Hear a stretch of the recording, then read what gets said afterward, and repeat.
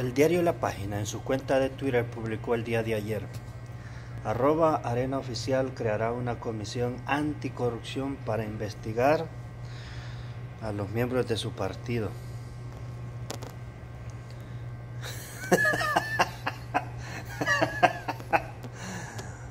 No, hombre, señores de Arena, sean un poco más serios, pórtense un poquito más serios.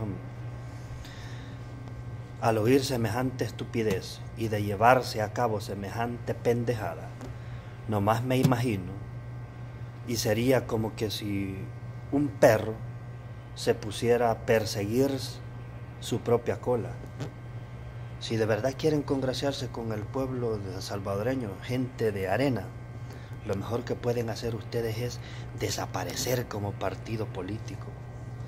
Con ese amplio historial de corrupción y de saqueo al dinero de los salvadoreños, lo mínimo, y se les agradecerá muchísimo, es de que desaparezcan como partido político.